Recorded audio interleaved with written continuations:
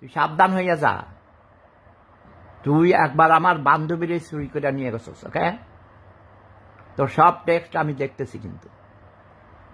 তোর আরও, তোর ভাড়াটি আমার এলাকার আমার ছোট বোন, তাই না? ওর টেলিফোন নাম্বারটা আমার দিও। তারপর তুমি বুঝবা আমি কে, ওকে? ওরে দিয়ে তোমার নুনুর গোড়া কেটে দিব। ক্যাশ করে ফেনিতে এক বেটায় তার শাড়িরে বিরক্ত করতো শাড়ি বিয়ে পড়তো সে আমার কইছে, কয়, আজকে চার পাঁচ বছর আগে। আমার কইছে, কয়, স্যার বাসায় এদের বাসায় এসে যায় না। শ্বশুর বাড়ি কাছাকাছি। নিজের বউ বাড়িতে রেখে শাড়ির লগে ফিটিস ফিটিস করতে চায়। ধারালো ব্লেড, নতুন ব্লেড নিয়ে যেটা হাতের মধ্যে রাখে দিবা তোমার কাছে, বাড়ি বাড়ির নিচে আর যখন সে টং হইয়া উদ্যত হবে, তখন তুমি তার নুনুর গোড়া ব্লেড দিয়া ক্যাশ করে কাটিয়ে দিবা। ক্যাশ করে এমন পোস্ট দিবা।